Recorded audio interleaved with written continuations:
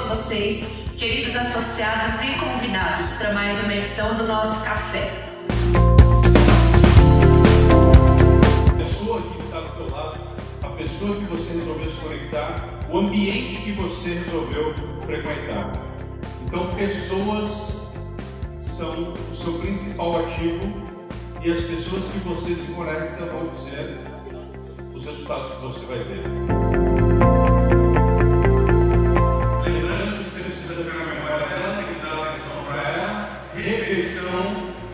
Coração e alcance. Cinco minutos para você ver quem se alguém que não mais ainda falar.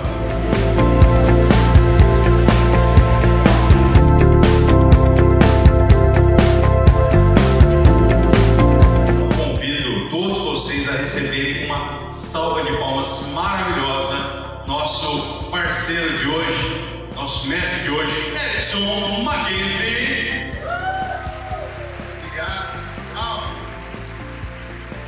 Ó, fiquei até arrepiado agora. Achei que era frio.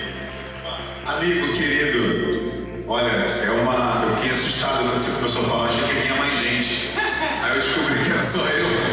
Fiquei, fiquei com vergonha agora. Obrigado pelo seu carinho, sua generosidade. O que, que é esse tal de business design, né? Então, eu trouxe aqui para vocês uma definição, que é a união entre o racional e o emocional. Ou seja, tem a galera, é de humanas aqui, só para eu saber? Legal, já considerou. Geralmente eu nunca pergunto quem é de exatas, porque o pessoal de exatas fica assim, por que está querendo que eu levante a mão? Qual que é a intenção dele pensando nisso? Qual que é a, o resultado? Ficou pessoal de exatas, já, o pessoal de humanas é interage, levanta a mão, a gente já sabe como é que é. Mas enfim, o design de negócios, o desenho de negócios, ele vem como para ser essa união entre o racional e o emocional. Um, um, um momento de, de conexão, de fluidez ali entre o lógico e o criativo, entre a galera de humanas e exatas. É através desse conjunto de ferramentas e soluções, métodos para desenvolver e testar modelos de negócio com um- uma proposta de valor realmente centrada no ser humano. Ou seja, a gente abandona quem é de direita e quem é de esquerda. A gente, foca no que é importante pra gente. Até a gente vive num momento interessante essa coisa da política, né? Quando, nossa, Mark, você é de direita ou de esquerda? Eu falo, eu sou o cara da frente. Eu nem saber se é da direita ou da esquerda. Tô na frente. Quanto mais na frente eu tiver, mais a gente vai conseguir chegar em bons resultados.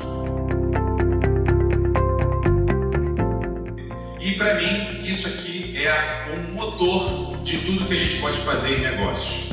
A gente constrói, a gente mede e a gente aprende. Constrói, mede e aprende. Constrói, mede e aprende.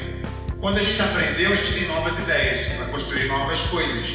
E a gente pode codificar, executar, planejar, desenhar novas coisas para a gente voltar a medir e coletar novos dados. Deu para entender? O motorzinho? O motorzinho funcionando aqui com alguma frequência. Porém, o mais importante é que não importa o quanto de conhecimento a gente consiga adquirir ou acumular. O que importa é o quanto a gente consegue assimilar, praticar e principalmente implementar no final do dia. Se uma das coisas que eu falei aqui fez sentido para vocês, coloque em prática, leva no dia a dia, bota isso para acontecer. Acho que dessa maneira a gente consegue compartilhar e fazer cada vez coisas mais interessantes.